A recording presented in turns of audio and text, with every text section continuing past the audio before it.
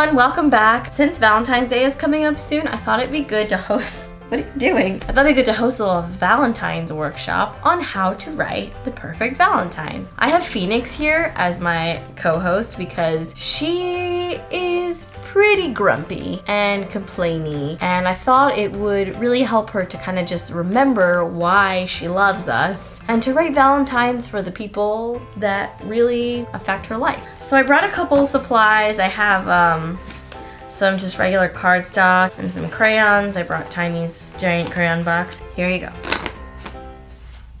I was thinking we'd fold some of these in half and you got yourself some Valentines. So the first way to write a Valentine would be just to be on the surface, compliment somebody on the way they look, usually like how their hair looks that day, you know, the way that the outfit that they're wearing, how it's flattering to them, because it kind of just gives people a nice self-esteem boost when you give them a compliment like that. I mean, don't get crazy or inappropriate, but just like, you know, a nice like, your hair looks nice today is a great way to start a Valentine. So let's see what you got for us here, Phoenix. To Falcon from Phoenix. Oh, that's very nice. Roses are gray. Violets are gray. Your toes are very hairy. Have a nice day. Um, okay, so I I don't know if like telling somebody that their toes are hairy unless they're a hobbit is like really a compliment to them. So maybe maybe stay away from the hairy toes comments. Okay, so instead of being all about what's on the surface, let's talk about, you know, like the nice things that people do for you because that really speaks to their character. You know, maybe comment on like, thank you for like you know, walking me every day. That's a nice thing. I, I, I love how you play fetch or something like that. Do you, you get the point? Okay, let's see if you have another. To Daddy from Phoenix. Roses are flowers. Violets are flowers. You're finally feeding me. I've been waiting for hours. Okay, um, well, it, it's nice that you're saying that he feeds you, but it kind of sounds like a critique on like how prompt he is about doing it, and I don't know if that's really gonna, you know, give him the feeling that you love him. All right, how about we just skip the compliments altogether and just say that you want to ask somebody to share an experience with you, like share a meal with you, go to the museum, like go for a walk. Those are all nice things that you could suggest in your Valentine's, you know? Like, let's get some coffee sometime.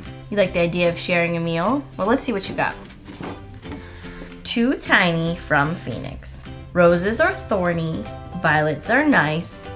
Give me your snacks, don't make me ask twice. Phoenix, I don't think like threatening people to give you their snacks is really gonna make them feel loved. I don't really know if you're understanding the assignment. Maybe it'll be simpler to just like get the person a present, you know? Something thoughtful from the heart, maybe something homemade. Do you agree? All right, let's see what you got here. To Mommy from Phoenix. Roses smell weird. Violets do too. I can't wait to give you what's left of your shoe. What did you do to my shoe?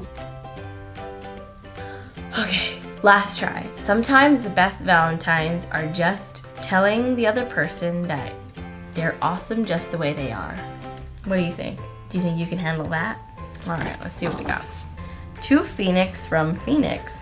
Roses are fancy, violets are fun, don't ever change because you're number one. Oh, well, I mean, that was nice, but I feel like it would have been better if you wrote it to one of us. Alright guys, I hope these tips help you write Valentines for your friends and your loved ones. I didn't do this workshop with Falcon because she's amazing at writing Valentines. All her Valentines are like, to Phoenix from Falcon. I love you!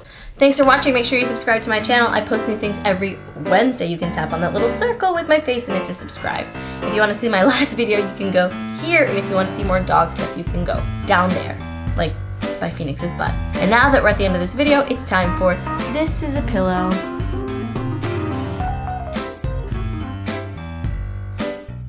Alright, it's been real. See you guys next week. Bye!